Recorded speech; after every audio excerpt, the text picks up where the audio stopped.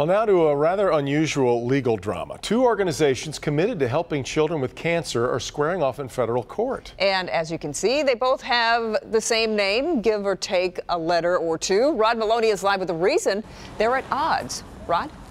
Well, Kimberly, imagine this. These are two organizations committed to helping these kids doing roughly the same thing. And I use the word roughly uh, very carefully here because they actually do different things. But take a look at the logo. It's WIGS for Kids of Michigan. And then, of course, there is the WIGS for Kids of Ohio. And it's the Ohio organization suing here.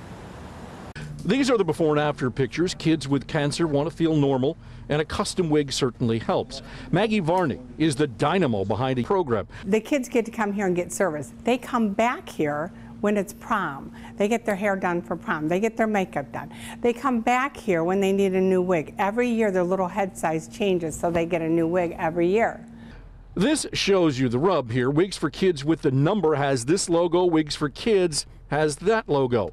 WIGS FOR Kids is a national organization, has a national trademark. WIGS number 4 Kids is only trademarked in Michigan. Last year, this cease and desist letter came to Maggie telling her she had to change her organization's name and she refused. If their purpose is to service children, they should be glad that this many more they don't have to take out of their budget and income because they're supposed to service the whole United States we serviced just Michigan, and we serviced more children in Michigan last year than they did in the whole United States.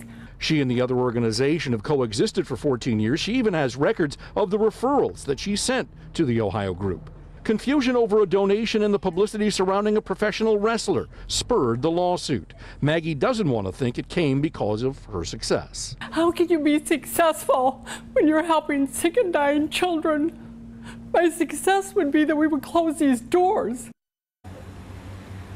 Well, highly emotional to, to be sure. Now, we reached out to the Ohio organization Wigs for Kids, talked to their one of their local attorneys on the phone. Uh, they had no comment at this point. We did try and reach the Ohio attorneys. Nobody uh, returned a phone call. But here's the thing. This is going to be filed tomorrow. It's a thick document, but it's going to be asking Judge Nancy Edmunds to dismiss the case. They believe here there is no reason for the suit and no reason why they can't coexist. Reporting live from St. Clair Shores, Rod Meloni, Local 4.